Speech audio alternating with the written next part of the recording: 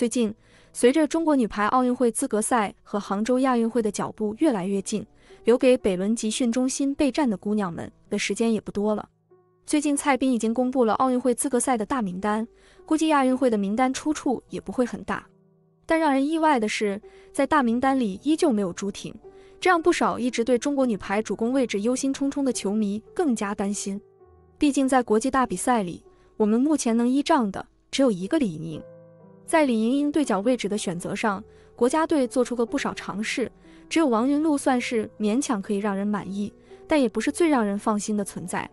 所以，要想在亚运会里夺冠，以及奥运会资格赛也打出了拿到小组第一的成绩，这两个目标对中国女排来说还是很困难的。就在这个节骨眼，集训中心暴露出来的一组照片又传来了坏消息，那就是目前的第一主攻李盈莹疑似右手受伤了。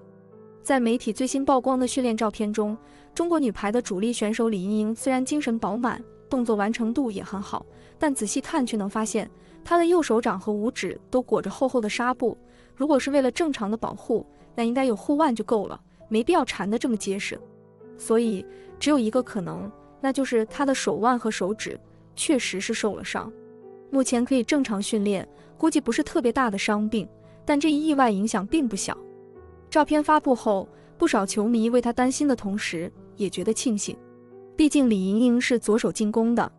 但球迷们也高兴得太早了。她的两只手同样重要，右手更是承接了大量的一传工作，所以接下来希望她可以早点恢复健康吧。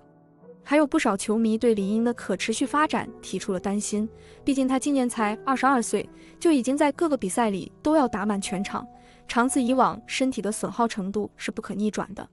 要知道，之前的朱婷就是因为伤病才离开了赛场，还有不少运动员打球都是以牺牲健康的方式来拼成绩的，实在是过于冒险。